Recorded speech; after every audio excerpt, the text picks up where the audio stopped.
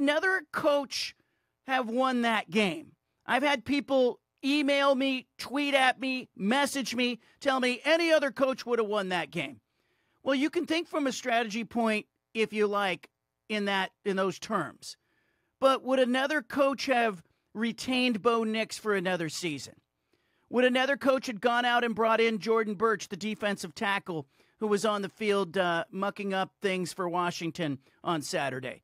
Or, ret- or recruited Mateo Uiagalelei, who was making plays?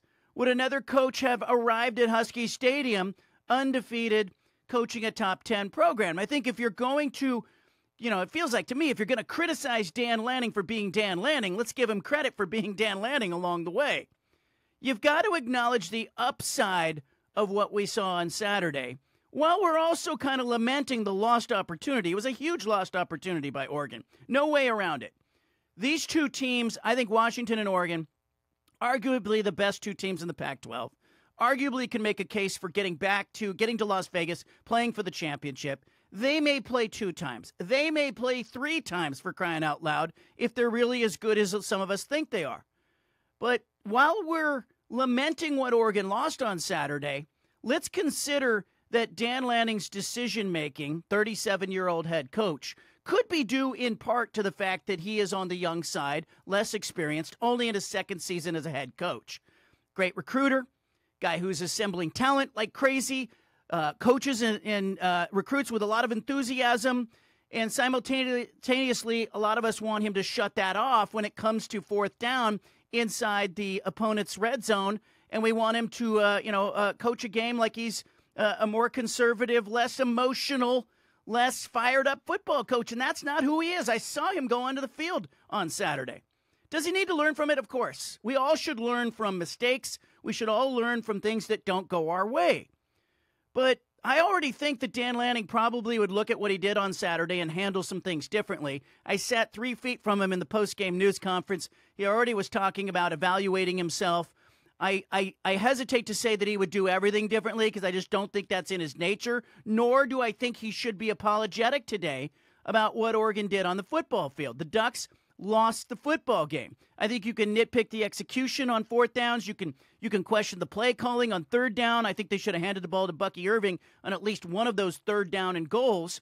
Uh, but I think in the end, we all have to recognize that this is kind of what Dan Lanning's going to do. It's who he's going to be. He's going to go for it. And in fact, when he sees Michael Penix Jr. in Washington on the other sideline, he's not going to be a guy that's inclined to lay up and kick field goals when he has an opportunity to put sevens on the board.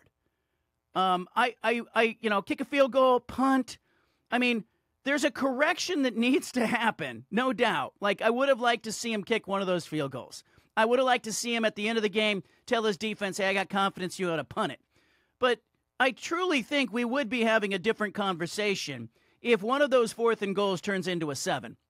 And I think we might be having a different conversation had he punted the ball in fourth and three at the end there from midfield. And Michael Penix Jr., who went 53 yards in two plays. Like, tip your cap to Michael Penix Jr. in Washington.